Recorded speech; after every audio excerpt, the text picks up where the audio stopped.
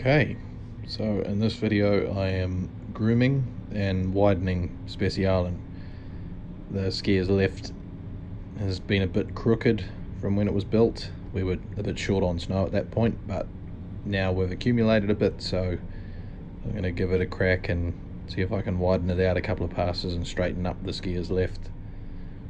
Uh, generally we turn around about the three quarter mark heading down the slope because the slope has a dog leg in it and that means that on the skier's left if you go too far to the left the cable ends up dragging through the trees and damaging hydrants for the snowmaking system. So generally the bottom quarter is done by free cats which come out of a slope on the skier's right. So it's a bit of pushing and a bit of grooming in this video and I've messed around with a couple of different camera angles as well to see if anything works a bit better.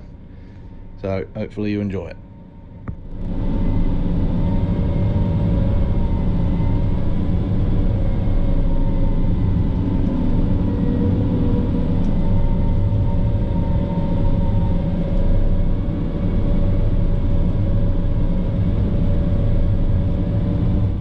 And you can see here on the skier's right where the grooming comes into the slope so that's Skogsbakken and Blixton, which come from that side.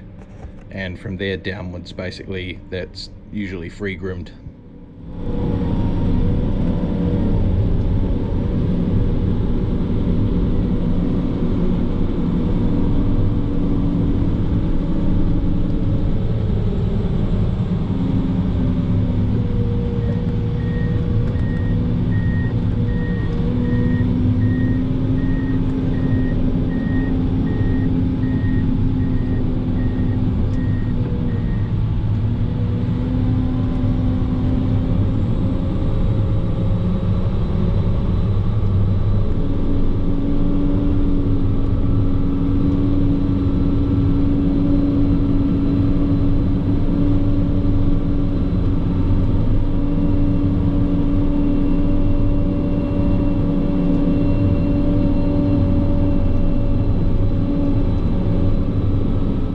Just occurred to me that people might not know what skiers left or skiers right actually means. Um, but because when we're grooming and building slopes, you can look at a slope technically two different ways. If you look at a hill from standing at the bottom of the hill, then left and right is obviously different from if you were standing at the top of the hill and looking down. So, in the ski industry at least, we refer to skiers left and skiers right because a skier is going downhill so if you're talking about a skier and you're talking about the skier's left, it's going to be looking down a slope and it's going to be to the left of that skier. So that's the distinctions between skier's left and skier's right. It's just to avoid confusion basically. So you don't ask somebody to build something on skier's right and then they look at the slope from the bottom and build it on skier's left.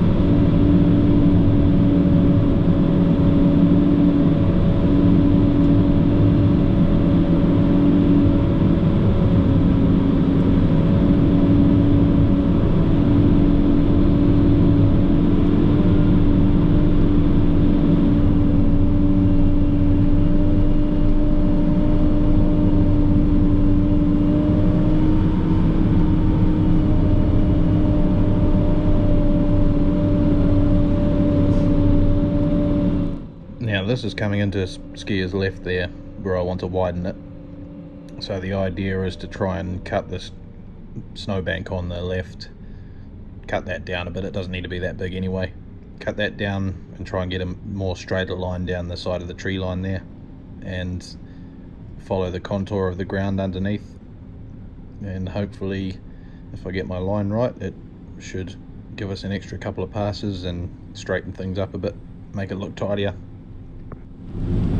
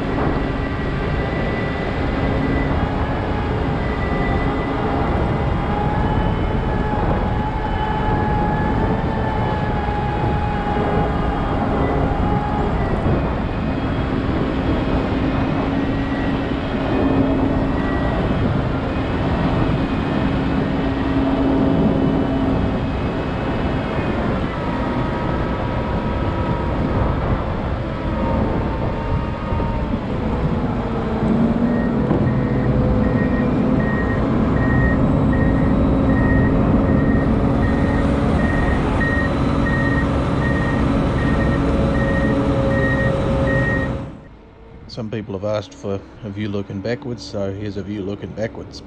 Um, but I apologise for the strobing from the flashing beacon. Uh, I'm not sure how to avoid that. I probably have to mount the camera further back, I guess.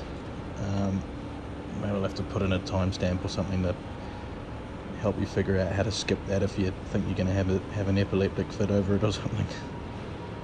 But uh, I'll work on that in the future, I think.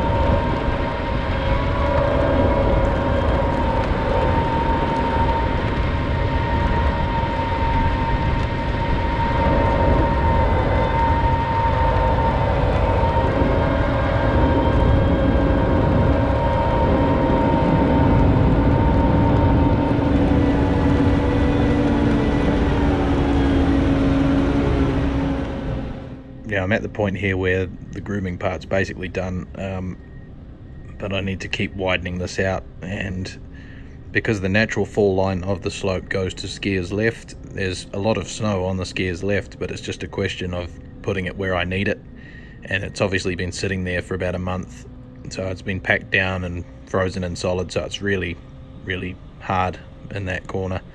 So just got to break it up and push up what I need and work the snow a little bit to make it nicer and more groomable and obviously get it to where I need it.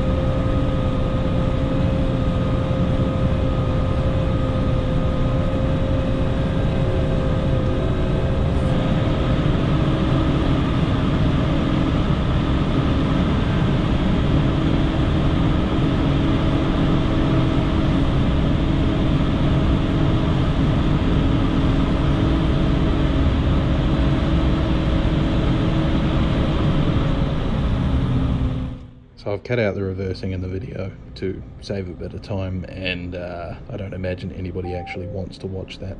There's not much going on.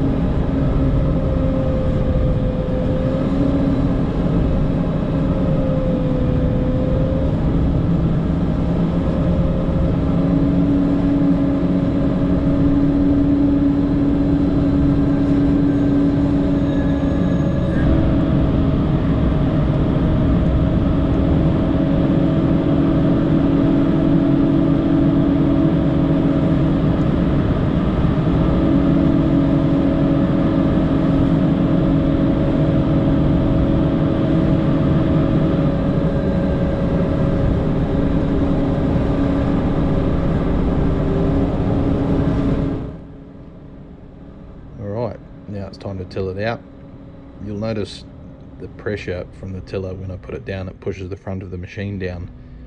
And you also get the front of the machine dipping down as you increase winch tension. So it's a balancing act between increasing the tension and lifting your blade at the same time. Otherwise you can end up leaving speed bumps everywhere in your slope as you increase and decrease your winch tension.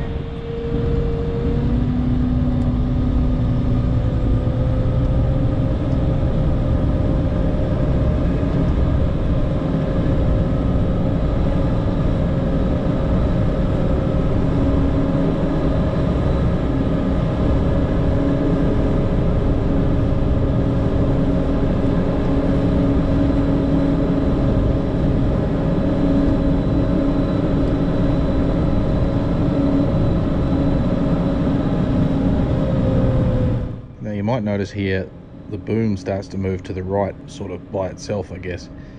And that's the active boom function on the Pistenbully. So basically I kind of describe it as winch traction control. So it responds to your inputs on the drive sticks.